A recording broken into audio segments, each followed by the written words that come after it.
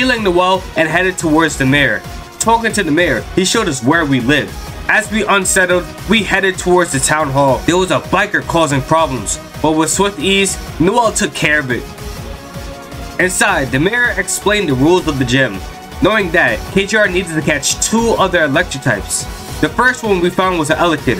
Of course, catching it, Fabiola is now on the team.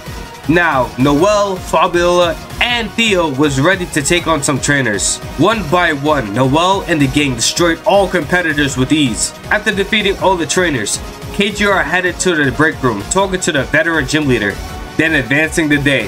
KJR stumbled upon a Tynamo and a Stunfisk. Seeing the potential of the Levitate ability it gets later on, and the ground type moves, they would be a great asset towards the team. Thus, Spearoam and Prominus joined the team. Continuing on, trainers still were no problem for the electric